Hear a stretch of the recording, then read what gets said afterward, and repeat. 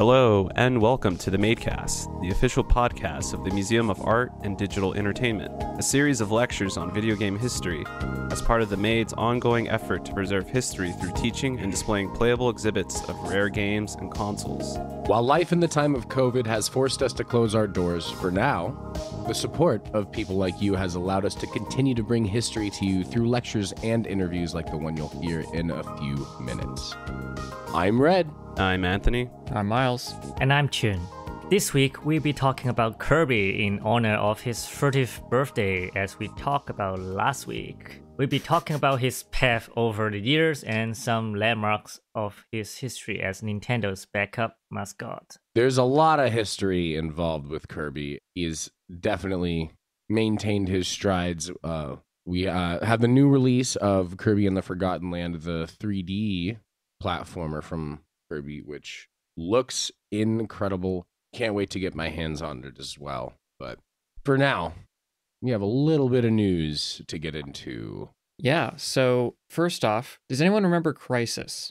I do. I really love Crysis 3. I loosely remember Crysis. I never got, I never played Crysis, but I know it was very big in some of my circles of friends before they So it's dove into. I love I love the game. I love the gameplay. I love the idea of being invisible and stealth kill, and I also love the fact it burns out my Mhm. display card. So its biggest claim to fame was being incredibly graphically intensive and really just very poorly optimized.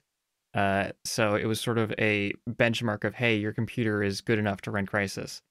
Um, it's gotten better over the years. It's not really at the peak of the game anymore, but um, Crytek is currently hiring developers and positions for Crysis 4, which is based on the position still pretty far off. Yeah. So don't hold your breath for it, but it's on the way. I feel like I have been waiting for that forever. They they do have some like handover not yet to be done thing by the end Mhm. of Crysis 3. And I really hope they pick them up. The story is actually pretty fun too. It'll be fun to see how it goes after all those stuff happens in Crysis 3. I wonder what's the sign on bonus? Free nano suit? Uh, in other news, uh, the first two Elder Scrolls games, Arena and Daggerfall, are now free on Steam. Ooh, Of course, get of course. Elder Scrolls. Do anything but release Elder Scrolls 6. Uh, like- uh, everything but that. Apparently has been their motto for the past few years. I think they're probably waiting for PS6 to come out to release the game. I mean, what? It's been 12 years 11 years. since Skyrim was released. It's awesome. I love I love waiting uh, a decade plus for the sequel to a game. I mean, I'm used to it. I was a Kingdom Hearts fan, so It's long Uh, enough for a child to grow up. Well, if you're interested Yes. in an even bigger game than Skyrim, uh, technically, Arena and Daggerfall basically encompass all of Tamriel. Um, hmm. You can travel all of it, the whole thing. There's not very much there, uh, but technically But- you are tr- crossing the whole map. Uh, but no, both games are good. They're very arcane and difficult to master. Um, I'll say diplomatically. they they have aged. well, I, would think hope they're, so. They're still worth looking at. Uh, they're still they're still worth playing, but the the gameplay of Elder Scrolls games has substantially shifted in a more friendly direction. Um, in other news, uh, we have news that the development work on Prince of Persia uh, will be handed over to Ubisoft Montreal. I guess if you're waiting for that game, you may have to wait even longer. I, I'm excited for this. I mean, I- like, uh, I played the Sands of Time religiously uh, on my PlayStation 2. Uh, I, that was one of my favorite games as a child. I'd never got my hands on too many of the sequels for it. The Sands of Time was a great 3D like platforming RPG. I, I just loved the the different moves you had to do. Just the getting around the map was just so much fun. I'm excited to see what the new one will bring. In other news, Blizzard uh, released the first Warcraft mobile game, uh, Warcraft Arclight Rumble. Tell us a little bit about this game. It looks a little bit more like I don't know you. We all probably know the the, the game Clash Royale. Mm-hmm. Yeah, uh, it looks like that. So it's they're basically taking away from Clash of Clans and then just putting Warcraft characters. I awesome. guess. I mean, it's the it's actually the first. Is it the first move the Blizzard ever done to? Oh no, it's not exactly the first move, but it's probably the. I don't know whether it it it has matters deal with the the the Microsoft move or not, but but we I mean, we'll see. Yeah, they're gonna bring back Windows form Windows Phone for Warcraft Arclight Rumble. Uh, Hmm. you know, broaden their horizons Break again. your Zune. Yes. Oh my God, that would be that would be so that would be pretty awesome if they released a, a game that you had to play on a Zune and then bring them all back from storage. In our uh, last little bit of news, Miles, do you want to take this one? Yeah, so Dorfromantik is finally out. Uh, this is a little German indie game uh, released by Toukana Interactive, which is for German students who made it over a weekend as a as a game jam project and started a studio and finished it. It's very charming. It's basically just building a little little town out of uh, little hex tiles. There's no um, it's it's just you know it's fun. You don't have you don't It's have to nice. save the world. it- it yeah, you're not saving the fun. world. You're not fighting anybody. You're just putting down buildings and animals, and Yeah, that sounds fun already. It it looks like Catan on steroids. it's it's kind of Catanish. Uh, it's it's a point building game. Uh, you get points based on the adjacency of various tiles to each other. So you want uh, swamps next to swamps. You want rivers connecting to rivers. Buildings for towns next to each other. A locomotive will want more locomotive tiles along it to, to have a longer line. Various animals will want more uh, trees in a forest. Uh, and the game just stops when you run out of tiles, and you get more tiles as sort of rewards for completing objectives. So it's a question. Mm. It's like a how long can you keep it going kind of game. And Interesting. I've I've had a lot of fun with the um, early access version of it, um, and it's finally released now. So it's it's a fun chill game. Well, I think that is all the time we have for the news at the moment, so it is time to throw it on to the history of the Pink Devil, Kirby. And welcome back to the Made Cast. Here we are once again. We are going to be talking about the history of Kirby uh, for his 30th anniversary and the launch of the new game, Kirby and the Forgotten Land. But let's get started on some of the original, some of the origins of Kirby and how he got his start, what led him to go into where he is right now. Mm-hmm. So, So we're going to start off a bit with the uh, dev team behind Kirby, uh, HAL Laboratory, formerly shortened as HALKEN. It's a video game company that's headquartered in Tokyo. Uh, it was founded in 1980, and from the start has been largely independent, but was very closely tied with Nintendo and was kind of considered a second party, not really first party, not really third party. yeah, they're, they're very closely interrelated and uh, lots of support from Nintendo directly. Uh, one thing we dug up that I think is kind of funny is that their name comes from being one letter before IBM. So HAL is one letter before IBM, which is actually the same story as Arthur C. Clarke in Space Odyssey. Mm-hmm. The the the AI in on the spaceship in that in that story also has the initials HAL, and I think it's not confirmed, but it was for essentially the same reason. So HAL is obviously most famous for all the Kirby games, but it also worked on the Mother series, as well as the first couple Smash Bros. games. It, it yeah like the the mother series was like really interesting. I, I think people don't necessarily fully nowadays don't realize that it was the, that it's the same developers. Uh it does have like a very similar uh, very similar chibi design to kirby but just with people instead of pink blobs and penguin kings. I mean, we should talk about Mother sometime because that is a extremely seminal franchise that a lot of people are sort of picking up on again. And yes um i'm very happy nintendo decided to finally release beginnings on switch yeah, so but its day will come, but it's not today. That is not today. Hal's logo uh, is originally called the Inutamago, uh, which is uh, shows like a wiener dog incubating some eggs. Uh, they made it their logo uh, since 1998, and that has been like the seminal thing that you will see in many of their games, including every intro to Kirby. You'll see the HAL Laboratory Wiener Dog incubating some eggs. Uh, HAL Laboratories originally started off by making games for uh, MSX and the uh, Commodore VIC 20. Uh, after financial trouble uh, with the development of Metal Slader Glory for the original NES, the Famicom, Nintendo offered to rescue HAL Laboratories from bankruptcy on the condition that Satoru Iwata was appointed as its president. Iwata later became the president of Nintendo. Like you said, secondary support for Nintendo later became main support. Uh, it was like, we want you to take over and help run this thing. you seem to know what you're doing. So the story behind Kirby was, I think the first one came out in 92, and it was designed as a basic platformer, sort of straightforward, designed for people who are unfamiliar with more complex uh, games, action games, shoot 'em ups. This was supposed to be a fairly easy entry level game. And I think a lot of the charm from it comes from them sticking to that formula very strictly, but still having a lot of room to have character in it. Like it's not necessarily like okay, all the Kirby games are not necessarily difficult, but they make up for it by being very very charming and full of character. Wasn't the pink blob design like that? Wasn't that a placeholder? Yeah. Uh, originally, it wasn't even meant to be the original, the total design.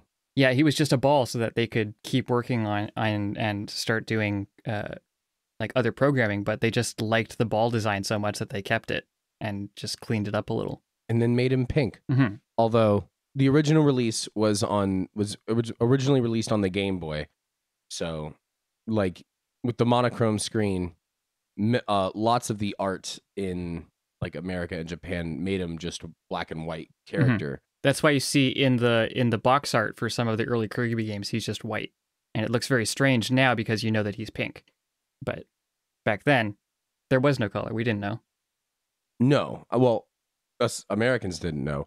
A lot of the box art in Japan remained pink, but North America had some weird things about changing some Japanese games, such as just yeah, we prefer them to be black and white rather than pink in the originally.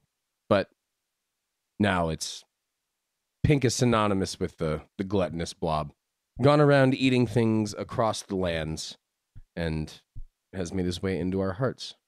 Um, so also Kirby's original name was Popopo, a counter to Dedede, the the king penguin of the area. I think there was another interesting story.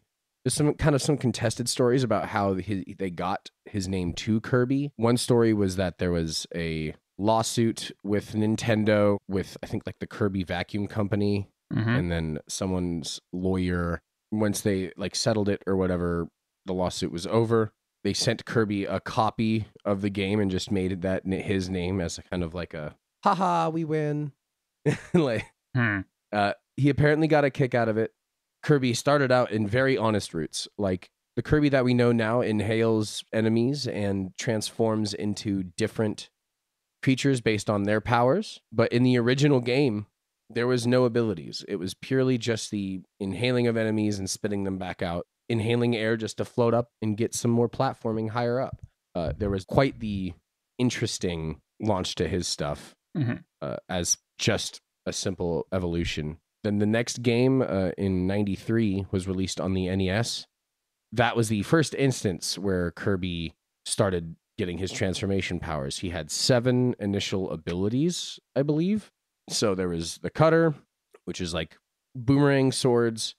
There was the light beam, which is just like a light beam straight up and down. There was the lightning little spherical bubble that you can just charge up, turn into a little lightning ball. There was a flamethrower. I believe there was like a hammer Kirby as well. There, there's so many initial things that have made their way through every Kirby game since almost. Mhm.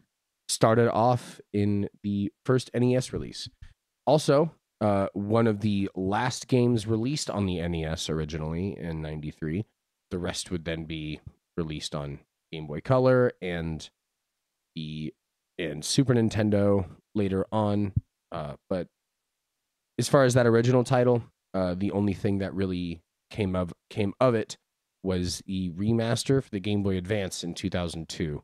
Yeah, that was that was Kirby's Nightmare in Dreamland. I think that was well, that was my first experience with Kirby. Um, That was mine as well. mhm. Uh, I I'm also like never realized uh, until doing some more until later on that that game was also just a remaster of the first game, Mhm.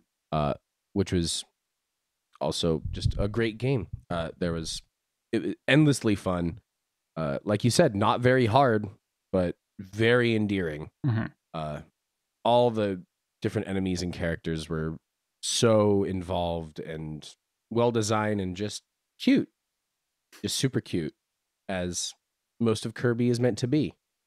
As far as main releases for games, there was a couple other like ad- adventures, uh, Kirby's Adventure, and some other ones throughout the years. There was a the Dark Matter trilogy, uh, was started with the Kirby's Adventure, and then went till the I think Kirby's Dreamland 3 uh was the end of that saga of Mhm. like evil darkness and you trying to save Dreamland from the endless sleep or the gluttonous uh food stealings of their king. Uh but there was uh because of Kirby's simple ball design, there was also a lot of amazing spin-offs and kind of side games that came with that. Uh, one of the most not- notably was the Tilt and Tumble. Uh, it was a Game Boy game with an accelerometer in the cartridge, uh, which allowed you to actually move the Game Boy uh, to control the direction that Kirby was going. And I like, I just thought that one was a very notable, interesting game to go. all of the what I think is interesting is all of the mainline games follow a fairly similar formula. And this is true for a lot of different franchises. Like the, the mainline games follow a structure. They're all 2D side scrollers, uh, except for Forgotten Land, which we'll get to. But like Yes. they have the same basic formula. They don't really experiment too wildly. They just sort of do the same good thing over and over again. What's really interesting about Kirby is that all of the spin-offs are just wild. Like Yes. There is an entire like each new game is an entirely new way to play as Kirby. mhm, I mean like Canvas Curse you were painting lines on the DS touchscreen. Uh so you controlled Kirby not using any of the buttons but just by having him gain momentum mhm. Rolling down like ramps that you drew on screen. Um, I mean, Kirby's Air Ride was s- star surfing. God, So, Kirby's Air Ride was like- great. I only played that a few times, but I remember just having a bunch of times, a bunch of fun times racing with my friends. I mean, I remember uh, specifically in uh, Nightmare and Dreamland, the remaster, just the, the air ride was just like an end event uh, on some levels where you were just racing to get to the bonuses Mhm. at the end against the three other differently co- colored Kirby balls. It's definitely come a long way since. I mean, there was Kirby's Dream Course as well, which was like a golf based game Mhm. with Kirby's abilities. Um, notably, something interesting about uh, Kirby's uh, Dream Course as well. Uh, the the Let's Players, the the Game Grumps on YouTube, there was a large fan made uh, mod of the game called Grumps Dream Course, Mhm. which they animated those characters as Kirby chibis, and then they I think there was over a hundred different fan made new levels Wow. just for that game as well. Uh, it's like if you want to give that a shot, uh, check that out on YouTube as well. But it's it's really interesting to see how much people have like fallen in love with Kirby so much, and then just to make their own versions of it. Mhm. Um, it's quite incredible. An interview I pulled But- up from some of the developers behind the Kirby games really talked about the sort of philosophy behind their their design principles, and they talked about uh, every game in the series being approachable but deep. Meaning that Mm-hmm. it's it doesn't take a whole lot to really understand what you're trying to do and how to do it. And the depth comes from having interesting uh, areas to explore having rich world building uh, you know fun boss encounters uh, appealing design. Like not necessarily oh this is a difficult game but oh this is something that is engaging really like it's not And- it's not about challenging the player it's about making the player have a good time which i think is a great philosophy to have honestly especially coming Yes, off it's- of um, FromSoft. Oh yeah, no, exactly. I was just about to say it's like almost the exact opposite of FromSoft. It doesn't need to be hard in order to be entertaining. Where FromSoft is like must be hardest game ever. That's how fun. That's how you get fun. Mhm. uh, but like the approachability of Kirby games lends itself a lot more. I mean, because even with some Mario games, like Super Mario World, had a lot of complex platforming. Uh, and different abilities that you could get that which really kind of upped the difficulty of the game compared to like like Super Mario Bros and like some of the original ones. Uh it's quite a different hmm it's a different experience. Uh Kirby is I think one of the most approachable games that anybody could get their hands on and start out with. They've finally released their newest entry into the series, uh, Kirby and the Forgotten Land, uh, earlier this year, as of uh, in April, and it is the first foray into a 3D world with Kirby in it. Uh, Mhm. There were other games like Kirby's Dreamland 2 and Dreamland 3 on the SNES uh, had some 3D backgrounds, and same with uh, Kirby 64, the Crystal Shards. It was still the side-scrolling aspect, but just in 3D. Mhm. So you were still moving to the left, but at like a slight angle, so you could see you're moving diagonally as opposed to just left and right across the screen. Kirby's transformation and invention has been changing throughout the course of all of the games. Uh, I mean, Kirby's Epic Yarn was a ridiculous change of pace, completely revamping how Kirby operates, uh, while also still keeping the adorable, cute aesthetic that Kirby has, but just with uh, yarn strings instead of the pink little inhalant blob. They they did sort of the same thing with Yoshi. Like Yoshi, I think we could also talk about in having sort of some of the same characteristics as Kirby. The the the yarn games were a very interesting diversion from or divergence from like what Nintendo was normally doing. And I really enjoyed the yarn games because they were just so offbeat and pleasant. It was a, it was a totally new, unique Kirby experience from everything else, while still Mhm. maintaining like the feel of a Kirby game. Yeah. Uh, and you don't really see a lot of reinventions of games that still keep true to that uh, today. We are running up on time. Uh, do you want to talk about the anime and the manga that came from Kirby? Yes, Very uh, yes, thank you. Uh, so Kirby also had a manga series uh, that ran from 1994 to 2006 called Kirby of the Stars, the story of DDD who lives in Pupupu. I mean, the entire manga was 10 million copies printed, uh, total 25 volumes. It wasn't until 2010 uh, that it was released in English as Kirby Manga Mania by Viz Media. It was later uh, published as like a best of collection, uh, which had new chapters uh, from the continued serialization as well as other things as well. Uh, but Kirby also had an anime called Kirby Right Back at Ya, which debuted on 4Kids TV, RIP.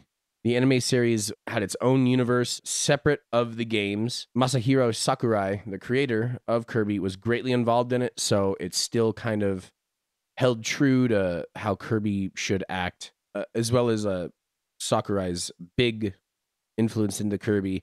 Kirby does not speak in full sentences. Like honestly, like he wanted to be more like Snoopy from Peanuts. Allowed him to use very simple words. His most famous catchphrase, "Poyo," and the names of various attacks and characters. Kirby was also released in an educational video in Japan to, in 1994 to help teach kanji to young children, the written language of Japanese. So he's been helping children play games and learn their language, uh, get top marks on their languages uh, for a very long time. Mhm. Uh, and now, with the 30th anniversary, Kirby and the Forgotten Land is the next big leap uh, and jump into the future for Kirby. He has had other experiences with Smash Bros. and other appearances in other games, Mhm. but Kirby's and the Forgotten Land is the latest and greatest in the evolution of Kirby and his gluttonous, insolent behavior. So we want to salute you to Kirby, salute you to Sakurai for creating one of uh, Nintendo's greatest characters. Absolutely. And I think that's just about all we have on the history of Kirby for you today. Welcome back. So, before we wrap up, what has everybody been playing? Anybody anything new, anything interesting? I know you said you've been playing the Dorfromantik early access game for a while and you've been enjoying that, Miles, but hmm nothing new on my gaming front. Still dipping toes into Elden Ring, spending a little less time focusing on some more life stuff right now. But, you know, such is life. Have you guys uh, ever tried any of the Wordles? Uh, I've tried a couple Wordles. I've played. I've tried to do some of them with like my roommates when they were just putting it out, just guessing a few things. Apparently, there's like a cheese you can kind of do. Like if you're unsure of the word, there's like three words that you can do with the first that include a majority of like the most popular letters. Oh right, yeah. And- there's like a adieu, I think is how you a do story, right? Yeah, like raise is also a good one because it has R and S and then three of the vowels. But it's it's a very interesting and fun game. I'm eh, yet to dip my toes further into that one, but it's seems very entertaining, very easy way to pass the time and have some good fun. So there's there's Wordle, right? Have you tried Worldle? No, what is Worldle? Yeah, Worldle. Um, it's pretty much the same uh, premise. You have five guesses, but you have to guess uh, what country um, or what landmass you're looking at. Oh, so it's a GeoGuessr It's a- essentially. it's a geographic. Yeah, okay. It's a little bit more challenging, um, but you get sort of uh, clues as to the direction and how close you are to the actual place. And Interesting. and yeah, there there's a lot of like sort of you know unrecognizable landmasses out there or islands. Like you just, there'll be an island kind of way off in you know the Pacific Ocean. Like what? This is island? Yep, it is. Guam. It's always Guam. Guam is fine. Guam But is good. there's okay, so there's world and then there's herd like which herd of animals are you looking at? uh, you're given a small snippet of a song, and you have to guess what the song is. oh, Oh, okay. I think Huh. I've I've heard of it. That's like that. Uh, I don't know. There's like that one game show that where you have to guess the song within. Again, you're given like a second, then you're giving like a couple seconds. It, like I, I like that game. I can give that a shot. I feel like Try it's all not, these it's guessing not, It's not that difficult to recognize which song it is, but sometimes remember the name of the of the song is really difficult. Especially when songs like are not named the most repeated line in the chorus. Like like the King's Lament. Like do do do do ouch I fell do do do do ouch I fell. I don't know. What? You know, what? Broken, I think we're gonna have to believe, call it there. yeah, I think I think it's time to call it. Cue, cue the ending music. Red's had enough. Yeah. Uh, done for the give him a day. break. I'm losing it. I'm losing it, everybody. Uh, but it's all good. We'll be back next week with another episode of the Made Cast. Uh, we want to thank you for listening to the Museum of Art and Digital Entertainment's official podcast. If you have any thoughts, questions, corrections, or general museum ideas, please shoot us an email at info at themade.org. And also with also with the reopening of the Made uh, coming up in a very short time frame uh, anyone who wishes to help with the cataloging, which can be done remotely, please shoot an email to the info and we'll be glad to get you in to the Slack channel to help do what we all do at the Made. Um, if you want to be a part of it, so that email is your lifeline. Info at themade.org. We'd like to send out a big thank you to everyone who donated recently and to our Patreon supporters who keep the Made afloat. Patreon donors get to listen to this podcast one week before it's released on major streaming services and continue that with future episodes every week. This week's episode was brought to you in part by Patreon donors Jessica Sexton and Phil. Thank you so much for your support. Until next time, I'm Red. I'm Miles. I'm Chin. And I'm Anthony. Thanks. We'll see you next week.